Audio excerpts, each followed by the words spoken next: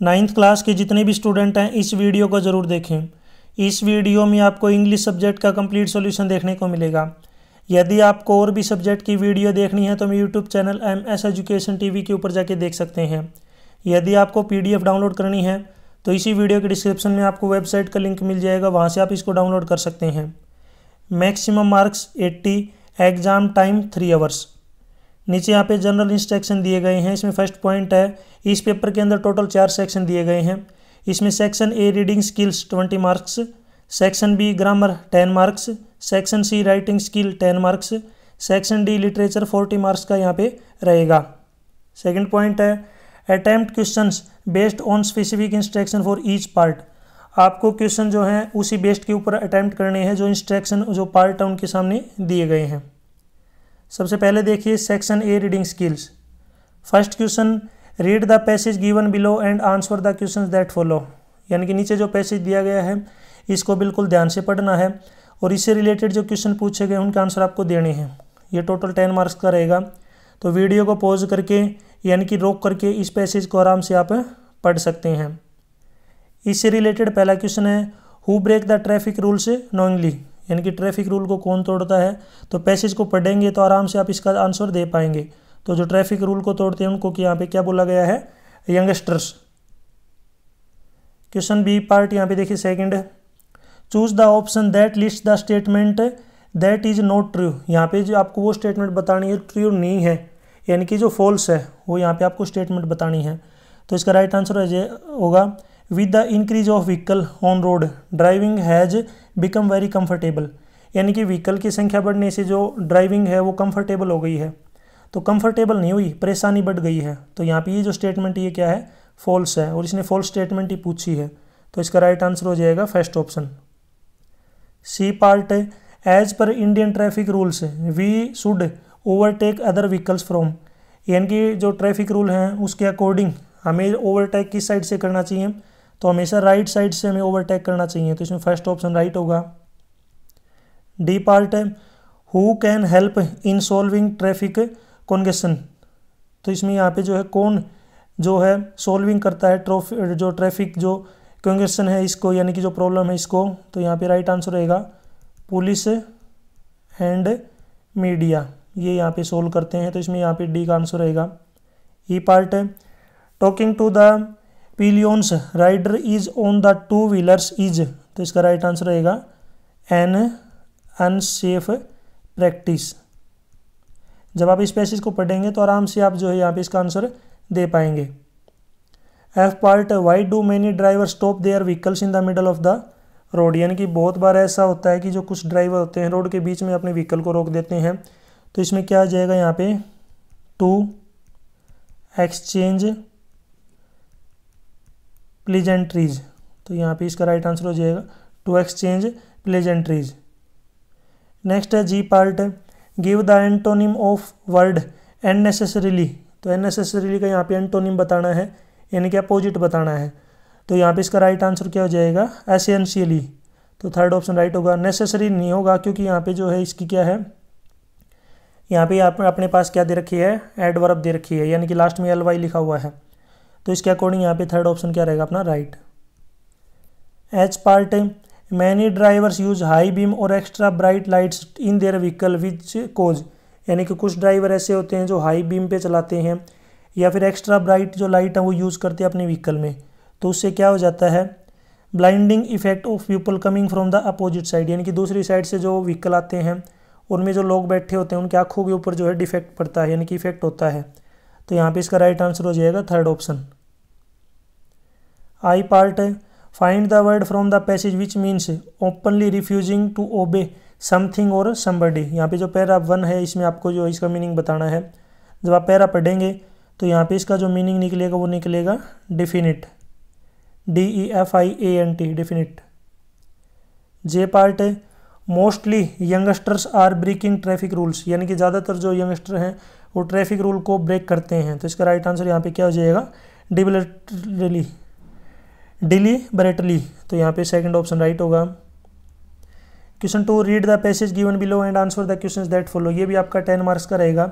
नीचे पैसेज दिया गया, इस पैसेज को आपको बिल्कुल ध्यान से पढ़ना है और इससे रिलेटेड जो क्वेश्चन पूछे गए हैं, उनके आंसर आपको देने हैं। तो वीडियो को पॉज करके या फिर रोक करके आराम से आप इस पैसेज को पढ़ सकते हैं। अब इस पैसेज से रिलेटेड पहला क्वेश्चन है modern world looks for skill and knowledge need for तो यहाँ पे इसका राइट आंसर क्या रहेगा? कैरियर सेकंड ऑप्शन राइट होगा यानी कि जो मॉडर्न संसार है, वो स्किल और नॉलेज की जो उसको ज़रूरत है, किस लिए? कैरियर के लिए, भविष्य के लिए. बी पार्ट है what is the more important for modern world यानी कि जो आधुनिक संसार है, इसके लिए सबसे ज़रूरी क्या है? यानी कि ज़्यादा ज़रूरी क्या है? प्रोडक्ट तो यहाँ पे इसका राइट आंसर हो जाएगा first option the product C part modern world gives more preference to यानी कि जो आधुनिक संसार है, वो किसको ज़्यादा प्रीफरेंस दे रहा है? Knowledge with facts third option right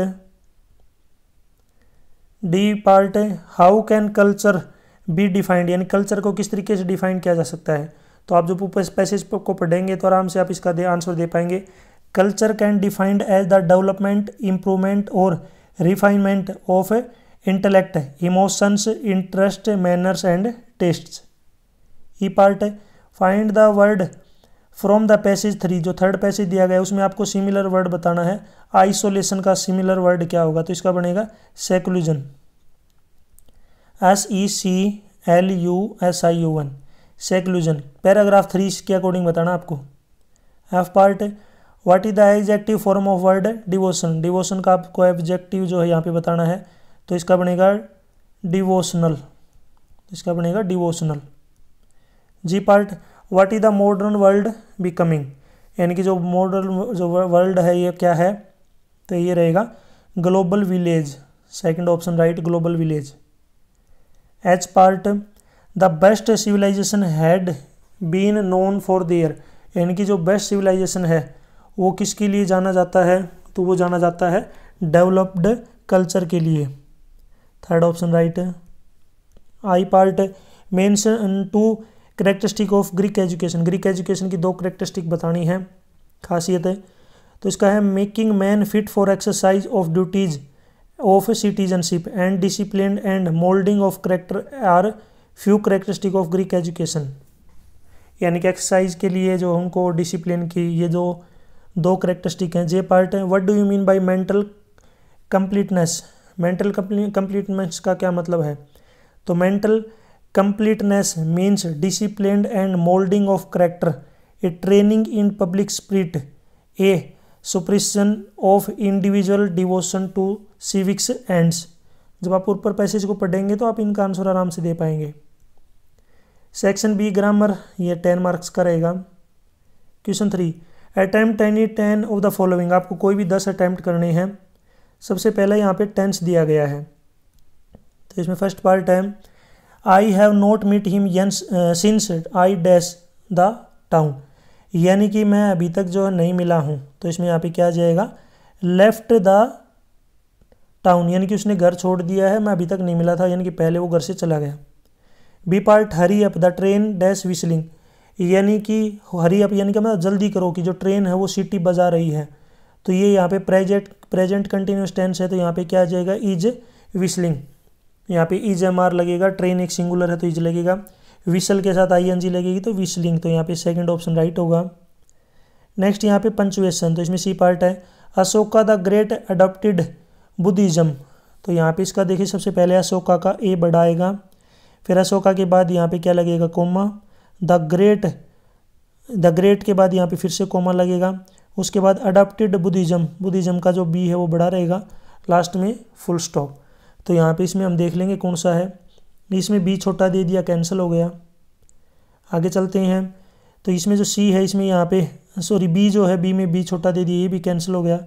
last वाले में ग्रेट के बाद कोमा नहीं दिया, ये भी कैंसिल हो गया। तो इसमें राइट आंसर रहेगा। अशोक का उसके बाद यहाँ पे क्या लगेगा? Comma the great adapted Buddhism last में यहाँ पे फुल स्टॉप लगा सकते हैं आप। आगे है मॉडल मॉडल दिए गए तो इसमें डी पार्ट है। Walk slowly lest you dash fall यानी कि धीरे चलो, वरना तुम गिर सकते हो। तो इसके अगर धीरे नहीं चलोगे तो गिरने के चांसेस ज़्यादा हैं तो जहाँ पे चांसेस ज़्यादा होते हैं वहाँ पे क्या लगेगा? सुड नेक्स्ट है यहाँ पे पेशी वॉइस नेक्स्ट पेशी वॉइस है ही नोज़ मी वह मुझे जानता है। तो इसमें क्या आ जाएगा? He is known to me third option right होगा। Change into indirect speech the teacher said to me what is your name तो इसमें आ जाएगा यहाँ पे, the teacher asked me what my name was तो यहाँ पे थर्ड ऑप्शन लास्ट में फुल स्टॉप नेक्स्ट है preposition he is superior यहाँ पे कंपेरेटिव डिग्री है सुपीरियर तो सुपीरियर के हाथ जो लगेगा, यहाँ पे लगेगा to he is superior to me वह मेरे से ज़्यादा सुपीरियर है.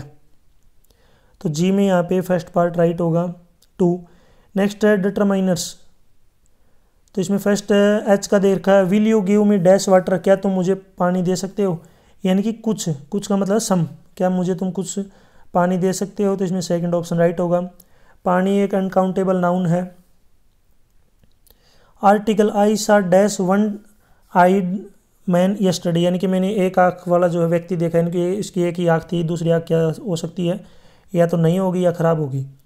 तो यहाँ पे देखिए आपको मैं बता देता हूँ, जहाँ पे भी ए ई आई ओ यू इनको बोलते हैं वोवुल जहाँ पे वोवुल की साउंड आती है, वहाँ पे, जहाँ पे वोवुल की साउंड आए, वहाँ पे आपका आर्टिकल लगेगा एन और जहाँ पे कॉन्सोनेंट की आवाज़ आती है, वहाँ पे लगेगा ए तो वन ओ ओ देख लिया ओ देखते आप एन मत लगाना।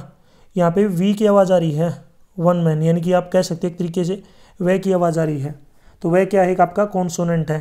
तो यहाँ पे एन नहीं लगेगा क्योंकि मैंने ओ का मतलब ये नहीं बताया। मैंने साउंड की बात कर रहा हूँ मैं साउंड तो यहाँ पे क्या लगेगा आपका आर्टिकल ए साउंड की यहाँ पे कॉन्सोनेंट की आवाज़ आ रही है, इसलिए अपना आर्टिकल क्या लगेगा? ए नेक्स्ट है यहाँ पे clause what have you done tell me तो यहाँ पे आपको क्लोज बनाना है।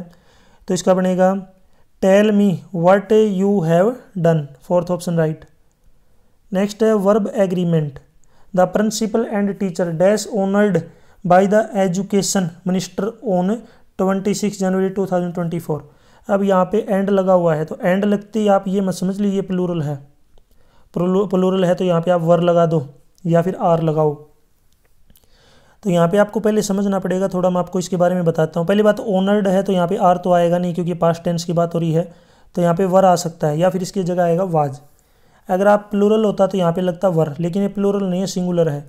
क्योंकि यहाँ पे द प्रिंसिपल एंड टीचर, यानी कि प्रिंसिपल और टीचर दोनों एक ही व्यक्ति हैं, यानी कि वो दोनों एक ही हैं, एक ही है तो यहाँ पे आपकी जो वर्ब लगी गया वाज। क्योंकि जो प्रिंसिपल है, अगर यहाँ पे टीचर से आगे लग जाता, द टीचर, इसका मतलब प्रिंसिपल अलग व्यक्ति हैं और जो टीचर हैं वो अलग व्यक्ति हैं, तब यहाँ पे जो अपना वर्ब लगती, वो लगती वर। तो इस बात का आपको ध्यान रखना है कि यहाँ पे प्रिंसिपल और जो टीचर हैं वो एक ही हैं, एक ही व्यक्ति हैं, इसलिए आपने यहाँ पे अपना लग गया वाज। नेक्स्ट है कंजेक्शन कंजंक्शन यानी कि जोड़ना। He worked hard dash failed यानी कि उसने बहुत ज़्यादा मेहनत की, फिर भी वह फेल हो गया तो इसमें लगेगा बट यानी कि उसने मेहनत की बहुत ज़्यादा, लेकिन फिर भी फेल हो गया। सेक्शन सी राइटिंग स्किल इसमें क्वेश्चन फोर है टाइम टेक करना आपको पाँच नंबर का रहेगा। तो यहाँ पे आपको क्या करना है? आपने यू आर राज या Rani of house seventy eight model town Rewari आपने यहाँ पे ट्वेंटी कंप्यूटर्स कोचिंग इंस्टीट्यूट के लिए ऑर्डर किए हैं। और ड्यू टू सम रीज़न आप उसको जो है कैंसिल करना चाहते हैं तो आपको एक लेटर लिखना है। तो ये जो है यहाँ पे आपको लेटर करना है इनमें से। इसी की ओर में यहाँ पे आपको एप्लीकेशन लिखनी है। एप्लीकेशन किस लिए है? कंप्यूटर क्लासेज अरेंजमेंट के लिए। तो दोनों में से आप एक कर सकते हैं। आपको मेरी वेबसाइट के ऊपर लिंक मिल जाएगा, वहाँ से आप पढ़ सकते हैं इसको। इसी में देखिए क्वेश्चन फिफ्थ है, ये पाँच नंबर का रहेगा। यहाँ पर भी आपको एक अटैम्प्ट करना है कि आपके पास एक कार है, इसको आप बेचना चाहते हैं तो आपको एक एडवर्टाइजमेंट लिखनी है फॉर सेल और इसी में यहाँ पे दूसरा पार्ट है। आप एग्जामिनेशन इंचार्ज हैं स्कूल में। यहाँ पे आपको नोटिस लिखना है ताकि बच्चों को स्टूडेंट को आप जो है इन्फॉर्म कर सकें। कमेंसमेंट का मतलब होता है एग्ज़ाम स्टार्ट होना, यानी कि हाफ़ ईयरली जो है स्टार्ट कब से होंगे एग्ज़ाम और इंस्ट्रक्शन क्या है। तो आपको यहाँ पे क्वेश्चन नंबर फाइव में फ़र्स्ट या सेकंड में से एक करना है, यानी कि ये और में है। जो भी आपको ठीक लगे वो आप कर सकते हैं। आप मेरी वेबसाइट पे जाके आप इनको देख सकते हैं। नेक्स्ट है सेक्शन डी लिटरेचर ये आपका सबसे पहला क्वेश्चन सिक्स है, ये पाँच नंबर का रहेगा। Read the following passage carefully and answer the question that follow passage को आपको बिल्कुल ध्यान से पढ़ना है और इससे रिलेटेड जो क्वेश्चन पूछे गए उनके आंसर आपको देने हैं। तो यहाँ पे ये जो पैसेज दिया गया, इसको आप पढ़ सकते हैं। इससे रिलेटेड फ़र्स्ट क्वेश्चन है what did Margie hate now more than ever यानी कि जो मार्गी है, वो ज़्यादा नफरत करती है। तो क्या कारण है, उसका यहाँ पे हमें रीज़न बताना है। तो यहाँ पे इसका जो आंसर रहेगा जो मार्गी है, मार्गी हेटेड स्कूल, यानी कि जो है वो स्कूल से ज़्यादा नफरत करती है। हेटेड स्कूल, यानी कि वो यहाँ पे क्या लगेगा? Hated school. सेकंड है why did her mother send for the county inspector यानी कि उसकी माता ने उसको काउंटी इंस्पेक्टर के पास क्यों भेजा?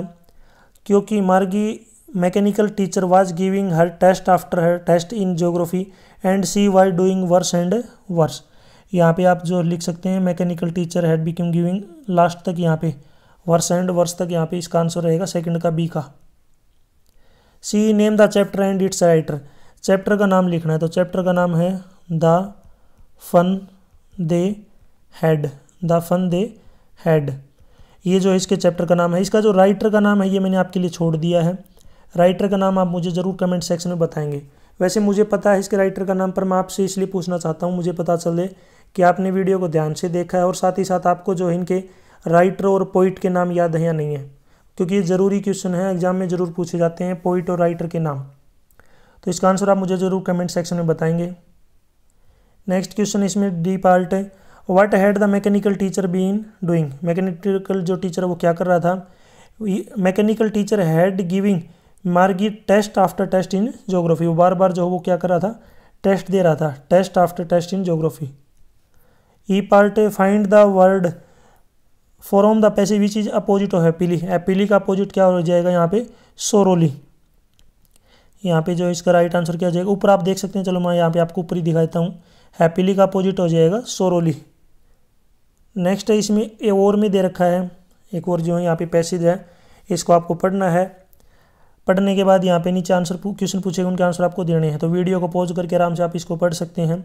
फ़र्स्ट क्वेश्चन है what did the writer inherit from his father. तो इसमें क्या आ जाएगा? सेल्फ डिसिप्लिन तो यहाँ पे आ जाएगा सेल्फ डिसिप्लिन अगर आपको पूरा लिखना है तो ये लिख सकते हैं। आई, यानी कि द राइटर, यानी कि आई की जगह यहाँ पे क्या लिखना है? The writer inherited honestly and self discipline from his father. From my की जगह यहाँ पे क्या जाएगा? His father. सेकेंड क्वेश्चन है यहाँ पे बी पार्ट है। How many brothers and sister did Kalam have कितने भाई और बहन थे कलाम के? तो इसका जो राइट आंसर रहेगा, उसके तीन तो भाई थे थ्री ब्रदर थी। और इसकी जो सिस्टर थी, वो थी वन एक सिस्टर और तीन brother who were Kalam's childhood friend childhood friend कौन था कलाम के? तो ऊपर यहाँ पे आप पढ़ सकते हैं। यहाँ पे था आराम रामानंदा शास्त्री अरविंदा एंड शिवा प्रकाशन ये उसके जो चाइल्डहुड फ्रेंड थे। Question D name the chapter and its writer chapter का नाम बताना है। तो चैप्टर का नाम है माई चाइल्डहुड मेरा बचपन और इसके जो राइटर हैं, वो हैं A P J Abdul Kalam A P J Abdul Kalam इसके राइटर का नाम है। ई पार्ट है find the word from the passage which means यहाँ पे आपको जो वर्ड दे रखा है इसका मीनिंग बताना है। The treatment and education one receives as a child तो इसको बोलते हैं हम अप ब्रिंगिंग अप ब्रिंगिंग जब आप ऊपर पैर पढ़ेंगे तो आप यहाँ पर इसका जो आंसर दे पाएँगे। यहाँ पे आप जो है इसका इसका जो आंसर यहाँ पे लास्ट में दे रखा है upbringing question seven seventh question attempt any two question कोई दो क्वेश्चन आपको करने हैं, यहाँ पे छः नंबर का रहेंगे। यानी कि तीन तीन नंबर के दो क्वेश्चन है। इसमें फ़र्स्ट क्वेश्चन है, when and how did Bismillah Khan get his big break यानी कि कब और कैसे बिस्मिल्ला खान को एक बड़ा ब्रेक मिला? आंसर है All India Radio opened in Lucknow in 1938 यानी कि 1938 में बड़ा जो है रेडियो, ऑल इंडिया रेडियो जो ओपन हुआ था लखनऊ में तो इसी के कारण जो उनको बिग ब्रेक मिला और उसका जो सहनाई थी वो रेडियो के ऊपर सुनाई जाती थी। बी पार्ट है, Kezia decides that there are different kind of father. Kezia ने जो है डिसाइड किया कि अलग अलग टाइप के जो है फादर होते हैं, पिता होते हैं। What kind of father was mister Mac McDonald, यानी कि मिस्टर मैकडोनल्ड के फादर किस टाइप के थे? Answer, mister McDonald was Kezia's next door neighbour यानी कि उसके जो नेक्स्ट डोर निबर थे, अगले जो पड़ोसी थे, he was a loving father, वह प्यार करने वाले पिता थे। He loved to pray play with his children, वह अपने बच्चों के साथ खेलते थे। The children enjoyed a lot in his company, और बच्चे भी जो उनकी कंपनी को इंजॉय करते थे। C part why does the world remember Einstein as a world citizen यानी किस प्रकार जो है आइंस्टीन को याद रहा कि world citizen answer Einstein was a supporter of peace and democracy यानी कि वो जो है शांति और डेमोक्रेसी को जो है सपोर्ट करते थे। He was in favour of world government यह वह जो है संसार की जो है सरकार है, उसके सपोर्ट में थे फेवर में थे। He wanted all the world to function as one unit ये वो चाहते थे कि पूरा संसार एक ही यूनिट की तरह काम करे। That is why the world remember him as a world citizen इसलिए लोग जो हैं, इसलिए जो संसार है, उनको वर्ल्ड सिटीजन के रूप में जानते हैं। डी पार्ट है what two important and earth shaking decision did the doctor take while he was looking into the mirror यानी कि कौन से बड़े इंपॉर्टेंट यानी कि अर्थ सेकिंग जो डिसीज़न है डॉक्टर ने लिए जब वह शिष्य को देख रहे थे। आंसर है, the author decided to take two important and earth shaking decision. पहला डिसीज़न था, सेव डेली, यानी कि डेली सेव करना, and grow a thin moustache, moustache to look more handsome, और छोटी छोटी मूछे उगाना ताकि वो हैंडसम दिखे। दूसरा था, keep an attractive smile on his face और अपने चेहरे के ऊपर एक अट्रैक्टिव स्माइल रखना। नेक्स्ट क्वेश्चन एट, यहाँ पे ये छः नंबर का रहेगा। क्वेश्चन है कि, draw character sketch of Santosh Yadav, और इसी की ओर में यहाँ पे है Kalam narrates two incident that show how differences can be created and also how they can be resolved. How can people changing their attitude? यानी कि यहाँ पे कलाम ने दो इंसिडेंट जो है, घटनाएँ यहाँ पे दर्शाई हैं, जो कि यहाँ और साथ ही साथ जो है उनको किस प्रकार से रिजोल्व किया है और पीपल जो है, किस प्रकार अपना जो एटीट्यूड है उसको चेंज कर सकते हैं। ये दोनों क्वेश्चन यहाँ पे छः छः नंबर के रहेंगे। ये लेंथी क्वेश्चन है, आपको मेरी वेबसाइट के ऊपर मिल जाएँगे, वहाँ पे आप इनको पढ़ सकते हैं। क्वेश्चन नाइन, अटैम्प्ट करना, कोई भी आपको एक, यहाँ पर पाँच नंबर का एक, यहाँ पे स्टेंजा दिया गया है। तो यहाँ पे इसको पढ़ सकते हैं आप सबसे पहले देखिए, ऊपर जो स्टेंजा दे रखा है, इसको दे, पढ़ सकते हैं। इसमें पहला क्वेश्चन दे रखा है what would the poet be telling with a sigh तो यहाँ पे क्या जो है, देख, बताया गया है he would be telling how he had taken one of the two diverging roads in a wood and how it had made all the differences तो ये जो है यहाँ पे कंप्लीट जो है इसका आंसर रहेगा। यानी कि लास्ट में यहाँ पे जो इसका ये आंसर दे रखा है। सेकंड पार्ट है where did the two roads diverge कहाँ पे दो जो दो रोड हैं वो डाइवर्स हो रहे थे? इन ए वुड तो इसमें क्या आ जाएगा यहाँ पे? इन ए वुड सी पार्ट है which road did the poet take road poet ने कौन सा रोड लिया?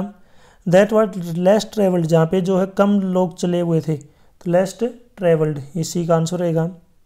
Name the poem and poet, poem और पोइट का नाम बताना है। तो यहाँ पे सबसे पहले बात करते हैं पोइम। मैं ऊपर लिख देता हूँ। पोइम का नाम है the road not taken, the road not taken. इसके पोइट का नाम मैंने आपके लिए छोड़ दिया है। आप इसका आंसर मुझे कमेंट सेक्शन में बताएँगे, इसके पोइट का क्या नाम है। वैसे मुझे इसका आंसर पता है, लेकिन मैं आपसे कमेंट में जानना चाहता हूँ कि आप पोइट के नाम जो है कवि के नाम याद रखते या नहीं रखते, क्योंकि ये इंपॉर्टेंट चीज़ आपको याद रखना है। पोइम और पोइट का नाम ज़रूर याद होना चाहिए, क्योंकि हमेशा एक या दो नंबर का जो है ज़रूर एग्ज़ाम में आता है। फिर भी आपको नहीं पता पोइट का नाम तो भी आप मुझे कमेंट कर दीजिए, मैं आपको कमेंट में राइट आंसर इसका बता दूँगा। नेक्स्ट इसमें ई पार्ट है what had made all the differences किसी ने जो है यहाँ पे सभी जो डिफरेंस हैं, यानी कि सभी जो डिफरेंट किसने बनाए तो यहाँ पे था पोइट चॉइस यानी कि जो कवि की जो चॉइस है, उसने। तो यहाँ पे देखिए मैं नीचे लिख देता हूँ इसके आंसर। द पोइट्स चॉइस यानी कि the poet's choice of the road. The poet choice of the road had made all the difference. इसी की ओर में यहाँ पे फिर से एक्सटेंजा दे रखा है। इन दोनों में से आपको एक करना है। इससे रिलेटेड पहला क्वेश्चन है कि what has the root formed under the earth किस टाइप का जो रोड यहाँ पे बना था? तो फॉर्म्ड एक केव अंडर अर्थ तो यहाँ पे आ जाएगा केव केव अंडर अर्थ इसमें देखिए यहाँ पे दूसरा है B part how is the strength of tree exposed किस प्रकार पेड़ की जो स्ट्रेंथ है, उसको एक्सपोज किया गया है? Pulling out its root pulling out its root यानी कि इसकी जड़ों को बाहर निकालने से जो है चेक किया गया है। मैं लिख देता हूँ यहाँ पे पुलिंग आउट इट्स रूट यानी कि जड़ों को बाहर खींच के जो इसकी स्ट्रेंथ चेक की जाती है। C part what is the most sensitive part of tree tree का सबसे जो सेंसिटिव पार्ट है वो कौन है? रूट यानी कि जड़। D part where does the root remain hidden for years कहाँ पे जो रूट्स हैं वो हिडन रहती हैं? इनसाइड द अर्थ इसमें आप ऊपर देख सकते हैं इनसाइड द अर्थ यानी कि पृथ्वी के अंदर, ज़मीन के नीचे। E part name the poem poem का नाम बताना। तो पोइम का नाम है यहाँ पे on killing a tree, on killing a tree. और इसके पोइट का नाम है गिव पेटल। इसके पोइट का नाम है गिव पेटल। नेक्स्ट यहाँ पे देखिए क्वेश्चन टेन। क्वेश्चन टेन है, अटैम्प्ट एनी टू। आपको दो अटैम्प्ट करने हैं यहाँ पे। तीन तीन नंबर के दो क्वेश्चन पूछे गए हैं, टोटल छः नंबर, सिक्स नंबर। इसमें फ़र्स्ट पार्ट है what should we do to make the friends with wind यानी कि किस तरीके से जो है, कैसे हम जो विंड है, यानी कि हवा है, उसको अपना फ्रेंड बना सकते हैं। तो इसका आंसर है we should make our bodies and heart strong हमें हमारे शरीर को और हार्ट को, यानी कि दिल को जो है स्ट्रोंग बनाना पड़ेगा। Only they can make friends with wind यानी कि इसी प्रकार जो है, हवा के साथ हम दोस्ती कर सकते हैं, दोस्त बना सकते हैं। B part what does the poet like to do when it's rain poet क्या करता था, कवि क्या करता था जब बारिश होती थी? तो इसका आंसर है, the poet loves to lie in his bed. When it's rain, यानी कि वह जो है प्यार से अपना जो बेड उसके ऊपर लेट जाता था। He calls it a bliss उस वो जो इसको ब्लिस बोलता था।